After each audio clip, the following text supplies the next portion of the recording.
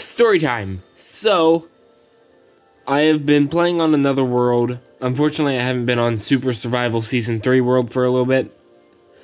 But, I have been playing on Another World getting achievements because I would like to get all of them.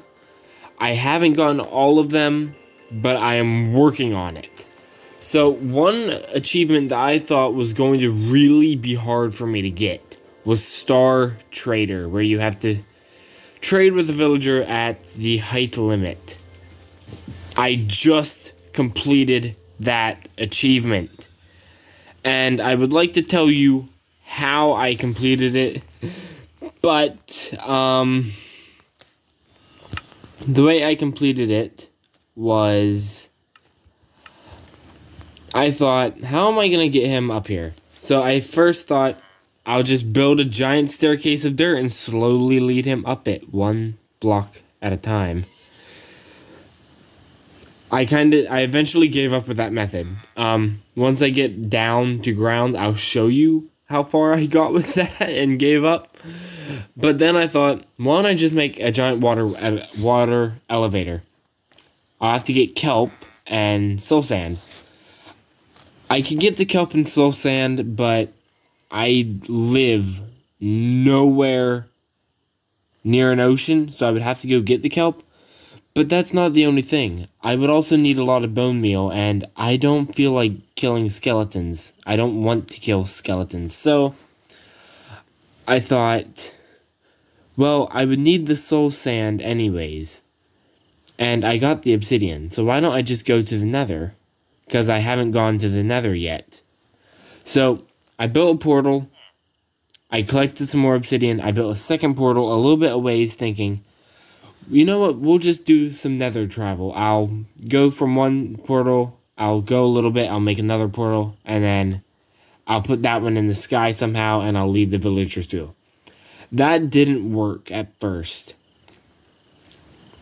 So what ended up happening was I ended up trapping a villager in the nether and then the portal, which is this one right here, was currently all the way down at the ground. And I just put it in my inventory and built all the way up here with some dirt and some extra wood. I don't know if you'll be able to see the... Yeah, so the dirt stops about right there. Right at the, uh... How, do, how can I do this? So right there at the top of the circle, or the corner of it, is about where the dirt stops. And then I went back in the nether once I got the portal built, and this guy went through, and I got so scared for a second because I didn't know if it was going to link up to the sky or if it was going to put me back down at the ground. But luckily, it put me up here, and I was able to get the Star Trader achievement. And the only reason I felt like making this video is because I was super proud of myself, and the freaking LA decided to follow me. Which I wish I could burn him. But I also don't have a bow and arrow. I don't own a lot in this, um... I don't own a lot in this world. Bread! I have bread now. And you will die!